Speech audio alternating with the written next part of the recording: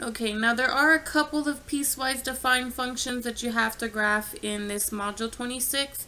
Um, however, some of them we've already gone through in the 320 module, so you should already have them mastered. However, if you did not master those while you were doing the 320 course, or it might have even been the 410 course, um, they will pop up for you and you'll need to do those. For those, you'll either have to go search for those videos in the um, 320 videos or the 410 videos, or you're just going to have to try to grasp the concept from um, ALEKS, okay? Because I've already pre-recorded those. I'm not going to go ahead and record them again. What I do want to concentrate on is the topics that you haven't seen, um, those piecewise functions, because most of you, if not all of you, are already going to have those other piecewise functions already mastered, okay?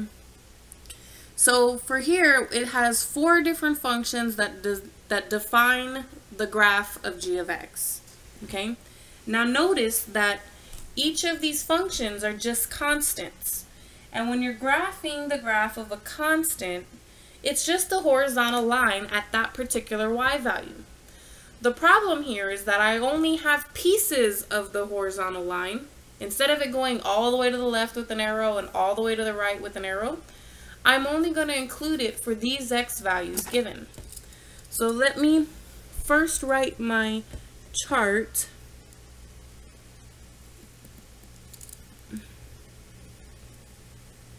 So this will be 1, 2, 3, 1, 2, 3, 1, 2, 3. Okay. So I know that zero is lands, it's a horizontal line that lands on the x-axis. But the only portion of that line that I want is from negative 2, which is here, to negative 1, which is here. Now at negative 2, it does not have a bar, so I'm going to have an open dot, whereas at negative 1, it has a bar, so it's going to have a solid dot. And I only want the part of the graph that connects those two. That's the horizontal line between negative 2 and negative 1. Now for the graph of 1. Again, that's a horizontal line at the y value of 1. But I only want it for negative 1 with an open dot and 0 with a closed dot and draw that horizontal line in there. Now for 2, I want it for 0 with an open dot and 1 with a closed dot and draw the horizontal line in between. And then for 3 it will be open at 1 and closed at 2 and then again just a horizontal graph in between. Okay? Now this one is the same thing but um, this one says I'm going to have the graph of y equal to 4 everywhere except at 0. So I will have the graph, the horizontal line, going all the way from the left to the right, but at 0, there's a problem. There's a hole there at 0, okay? And then it tells me at 0, I'm going to have the y value of negative 2. So that's down here which means, and it's equal, so that means I'm going to have a solid dot at negative 2. So you have this whole line with a hole in the middle, and then the function actually has a point there, but it's down here at negative 2. Okay, so I wanted you to see examples of both of those types of piecewise functions. Now, the rest of this section has got two more topics, and it has to do with even and odd functions. Okay, so even functions will reflect over the um, y-axis. Odd functions will reflect over the origin. And there's no fancy name like even or odd for something that reflects over the x-axis. Okay, that's usually just a downward reflection. Has to do with the negative coefficient. Okay. Um, so for the graphs, you will use this information that if it's even, it flips over the y-axis, and if it's odd, it it has symmetry with respect to the origin. So here, if I flip this over the y-axis, it lands on itself, So it is an even function. And you cannot be even and odd at the same time. You're only one or the other. Okay? So this is going to be an even function. Here, if I flip this over the y-axis, it does not land on itself. However, if I flip it over the y-axis and then the x-axis, it does land on itself. So this one is an odd function. Here, if I flip it over the y-axis, it does not land on the original.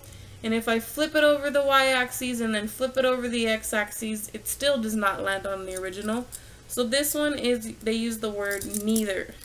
It's neither even nor odd. Okay.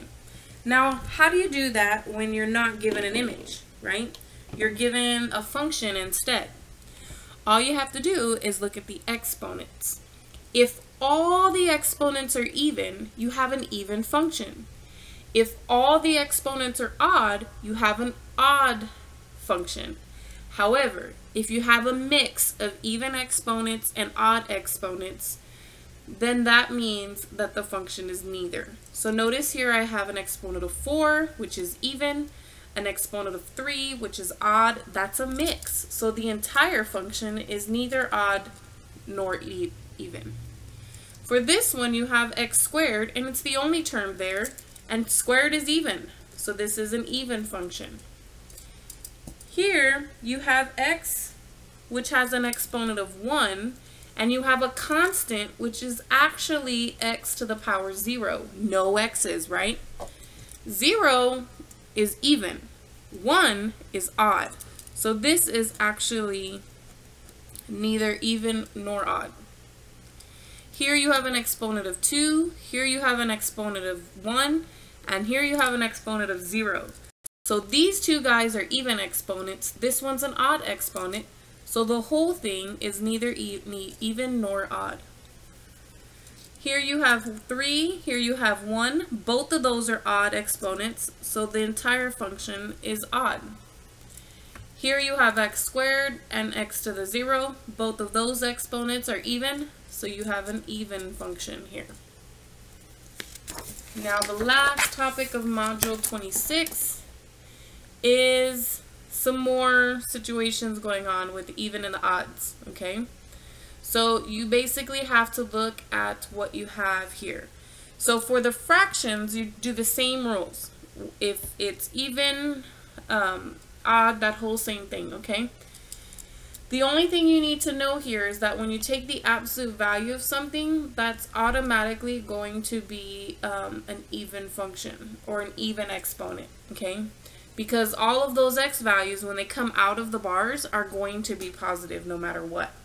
So the y value is always going to be positive, and so it should reflect over the y-axis. Think of the absolute value of x, right?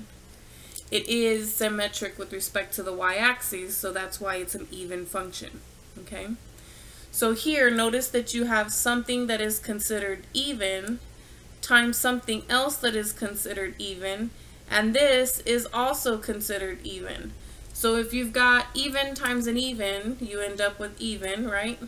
And then you're adding an even, so you're going to end up with even.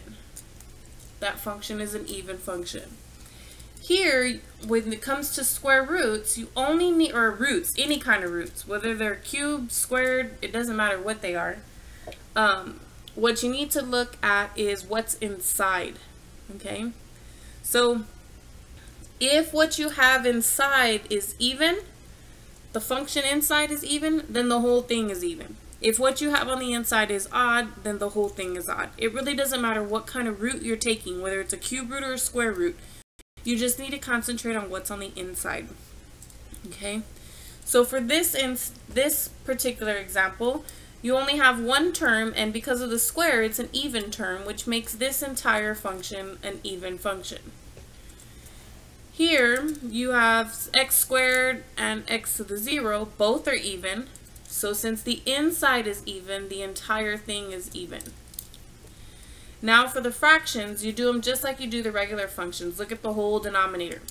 There's only one term here and it's odd, so the whole thing is odd. Here you have x to the 1, here you have x to the 0. You can't have part of it odd and part of it even, so this one's neither. And then here you have x squared, which is even, and so the whole thing is even. Okay, and that's the end of module 26.